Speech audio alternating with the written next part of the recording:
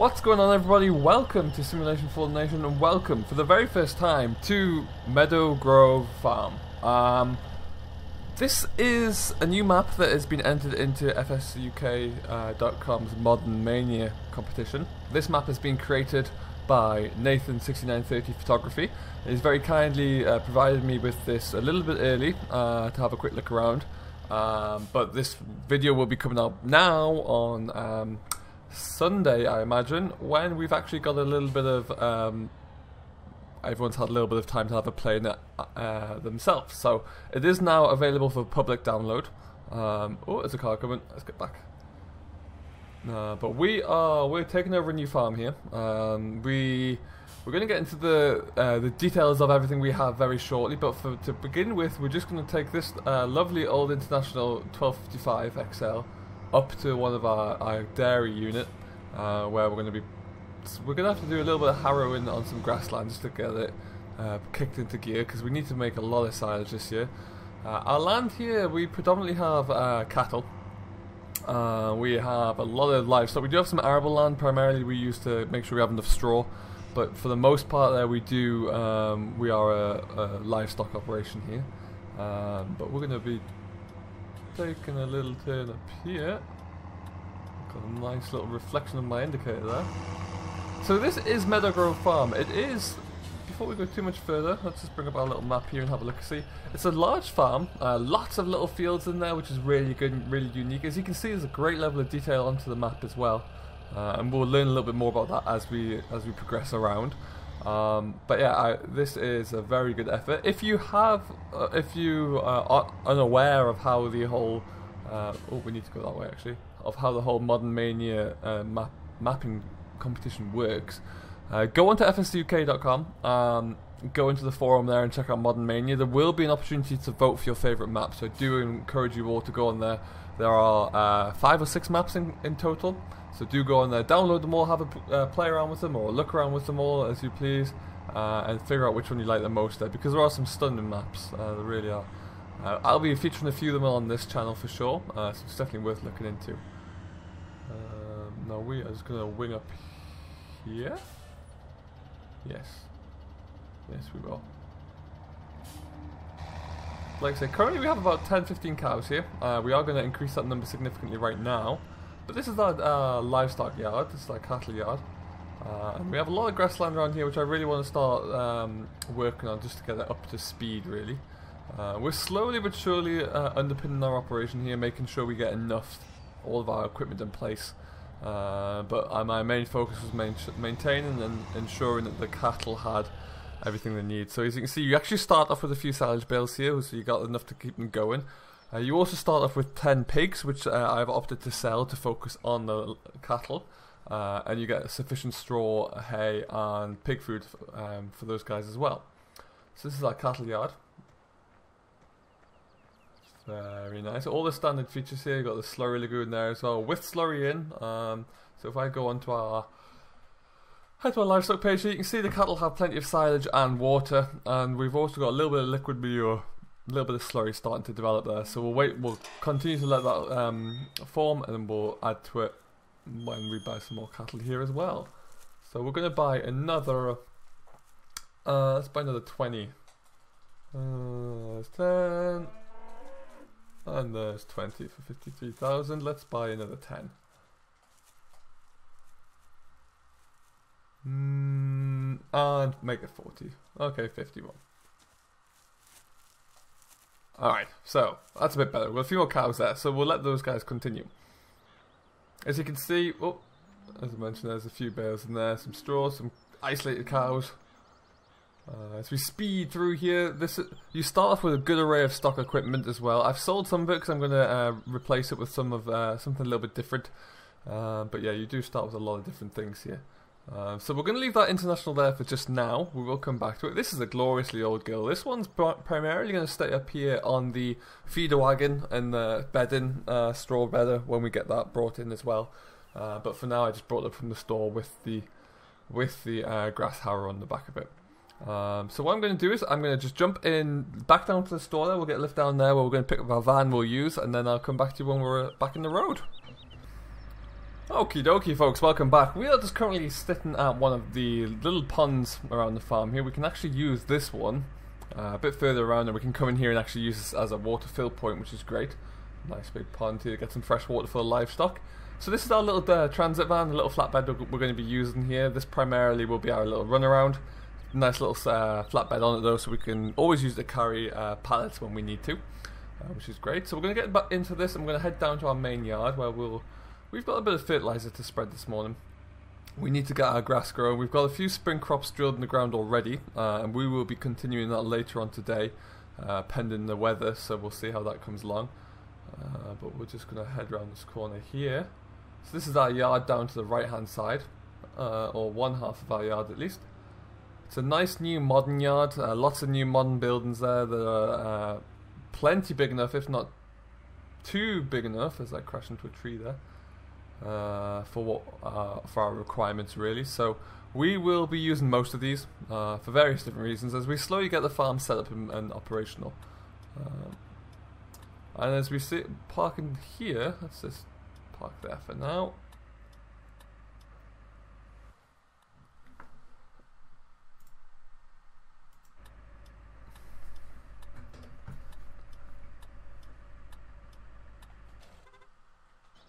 Perfect.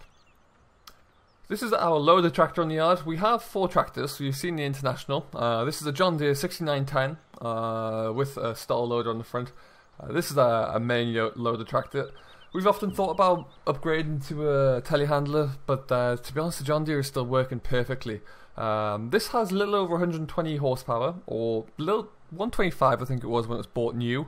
Um, it's a little bit old now, it's getting on for about 12, 13 years old, so it doesn't quite have that many ponies left in the tank, but uh, still a great tractor, uh, without doubt. Um, starts on the button, um, mechanically sound. Uh, currently, this has in the region about two two and a half thousand hours in there, so it's been well looked after over the time I've used it. Um, so we uh, we like to maintain everything, keep it in good condition. Uh, what else have we got in this yard here? We've got our, uh, one of our bigger machines here. This is the Valtra, the Valtra High Tech Um, this is our 8950. Now this is a lovely tractor. We have a front linkage on. This does a lot of the heavy cultivations along with one with uh, another tractor we're about to have a look at. Uh, but this is really a great machine here. We've got a 3 meter Kuhn Espro uh, drill on the back. This is a direct drill, but can, we also use it when we uh, we do plow land over on a uh, rotational cycle as well. Um, and it can work in that standard perfectly. We have a variety of soil here, so having a, a a drill such as this, which can combat direct drilling and uh, cultivation, is extremely advantageous for us, uh, particularly when we've got a lot of clay, heavy, rocky um, soils on the higher ground. And then we have a 4 meter drill uh, cultivator here. This is Kuhn again. Um, this is just a big chisel plow, really. Manages to rip up all the the rougher um, soil and, and, get everything ripped over quite nicely. And then just a, a small, very simple uh, four furrow Vari-Master plow. Um, we don't have big equipment. We have suitable equipment on our farms. Uh, nothing really in terms of implement uh, cultivational implements. Nothing bigger than four meters. Um, and our drills and our spreaders are all uh, spreaders sprayers are all 24 meters in width as well. Uh, this is a little bale trailer that I knocked up myself on uh, in a lot of spare time in the workshop. Um, so this, we might actually try and think about building another one of these because they are very handy. They work very well. Uh, just for sitting around bales on there, really. Uh, so we'll have to have a look at that. Another winter project, I, I think. Um, so we have this field as well. This has already been drilled. This is going to be uh, some spring oilseed rape, um, and we'll get into that a little bit more when we have a look at that one. Uh, we've been drilling spring oilseed rape. We've got some spring barley in the ground as well. We've probably got about three fields of spring wheat to go with as well. But we'll, we'll continue to push ahead with that uh, over the next few days. The weather's looking good for us for now. So we've got a little bit of patchy weather in the next few days there, but we should still get some um, get some drilling done. But uh, we'll always push ahead. Um, but for now, we're going to jump into our third uh, or our fourth and final tractor, uh, which is our New Holland.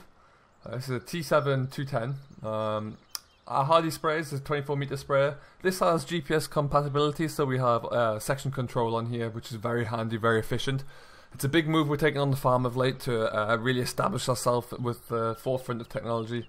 Our new tractors, such as this, um, this New Holland here, the 170 has um, is very heavily uh, integrated with GPS, which is from my from personal uh, viewpoint, very important. Very important. Uh, I like to be the most efficient design we can.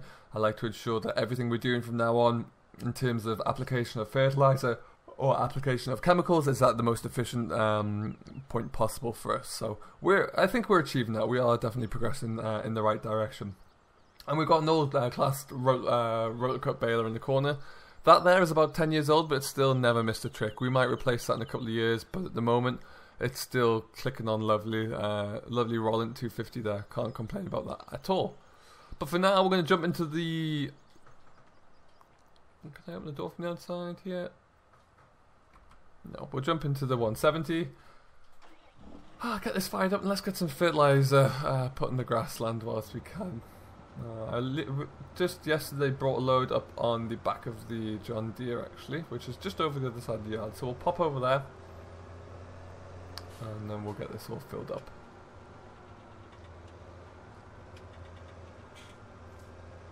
So there we go. I'll just park here I think.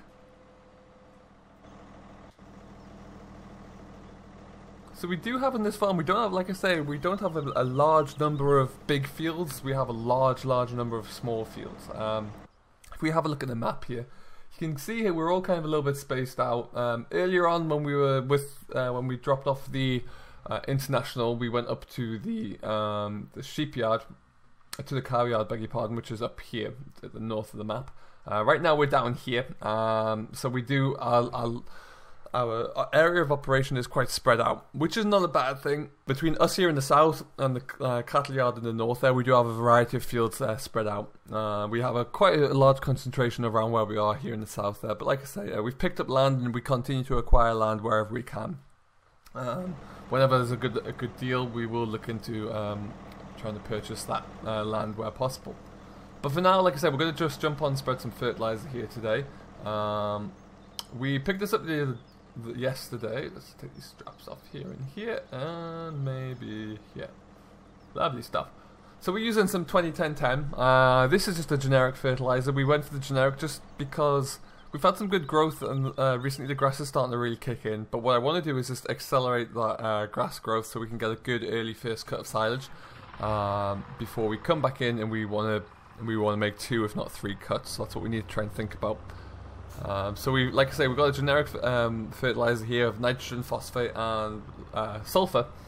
So we can we can put this onto both our grass and also onto our spring barley when it comes through as well. Um, so we need to try and fertilizer is unfortunately very expensive. So we are often trying to find ways to reduce the um, the the cost really. Now, one thing I would say, we've just recently come onto some new bags, which are blooming heavy, uh, frankly. So I am going to see if I can get two of these at once with the John Deere loader. I'm using the McHale grab for this. This is the best grab I've found. Now I used to have a back weight on here. So what we'll probably just do is see if we can just take the one.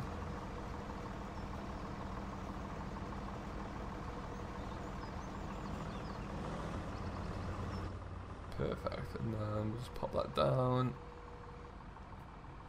Pick it up a little bit earlier, a little bit closer. That's better. I need to find where my rear weight's gone.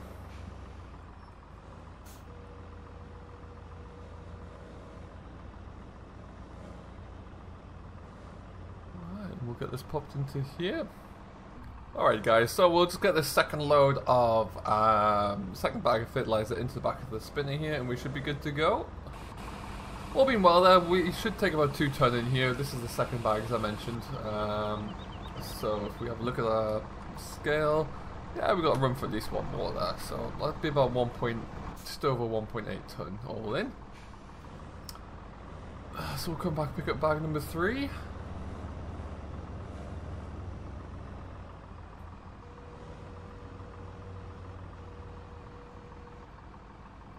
I am looking to try and find a proper uh, bag lifter. At the moment, as you can see, we're just using the silage grab, which is, well, less than ideal. Uh, we might take the the one at the back that's just kind of still attached. Uh, we are, like I say, yeah, we are using the silage grab, which is not ideal, but at times you've got to work with what you can what you can find. Uh, so what we might have to do here is pull these to the front. Uh, Just onto the ground because that's a bit too heavy for me without a weight on. And then we'll just take one of these. But yeah, at the moment yet to find one. There's a few. I've spoken to a few people who are making them at the moment, uh, so we might have something come, some news on that in the future. But we'll have to wait and see. Um, but well, this should tie us all up nicely. Stop that.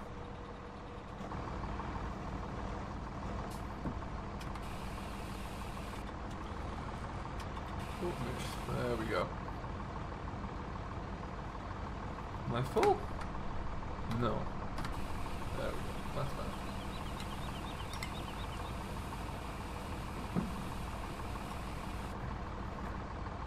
Perfect then. So, as we look at that map, let's have a look see what we've actually got to cover today. We've got the field which we're pointing in front of, so obviously we'll just jump into there first. And then we'll get uh, 64, 66, 65 um, covered. Uh, and at that stage, we'll probably need to refill, and then we'll come up. We'll have to go and focus our attentions up at the cattle yard as well. So what I might do, I'm just going to pull the John Deere out of the way first. Uh, I'm just going to be whizzing around these fields. They're not that big. They won't take me too long to cover at all. So I'll likely just um, set myself a way to do this, and then have a little time lapse of showing you as I wing it around. Uh, and then yeah, we'll come back and uh, kind of catch up and see what our next steps will be when we um, when we get back. So I'll just open this gate first. Quite a narrow little gate. You really got to hit this square on, particularly if you bring in a uh, one of our forage wagons into here or something. So we'll into there. So perfect. I will jump onto this, and then we'll get all these fields covered, and uh, yeah, we'll come back to it in just a second.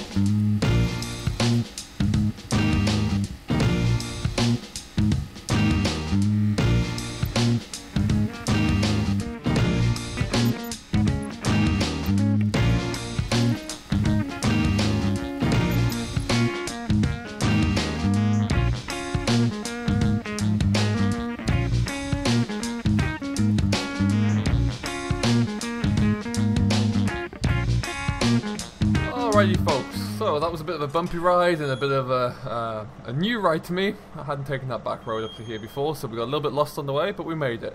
As I'm sure you can see by the uh, time lapse that we just went through there, this map is pretty darn stunning. Uh, some of the visuals are striking.